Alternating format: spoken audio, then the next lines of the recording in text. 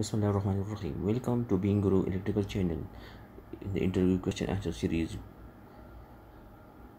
Today our question is why 3 phase power is equal to under root 3 VI and not 3 into VI because this question is mostly asked by the students 3 phases. So why it is not 3 into VI so today we'll discuss this.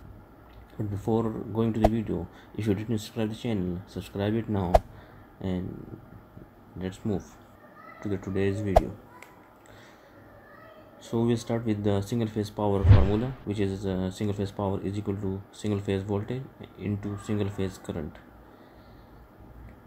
So we will what we will do we will multiply both side by 3 so 3 into single phase power is equal to 3 into single phase voltage into single phase current.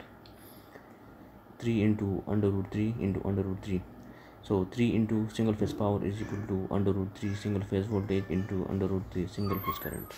So when we split this uh, into under root 3 2 into under root 3, 3 times so what we'll do this 3 phase power and under root 3 into single phase voltage will convert into 3 phase voltage and this under root 3 will remain here and it will be a phase current because there is no uh, we cannot uh, measure phase to phase current because different phase each phase has own current.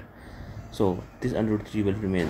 So this prove our formula or we can say 3 phase power is equal under root 3 v into i. Where in this formula we have voltage is voltage in terms of 3 phase and current is the phase current.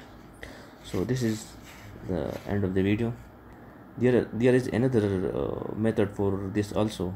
I will show you. This is uh, from the equilateral triangle. If you want me to give you a video on this also uh, i can comment in the comment section. So i will make a video on this also.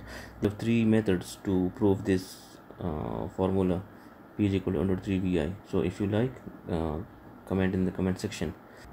If you like the video like and share with your friends and if you have any comments let us know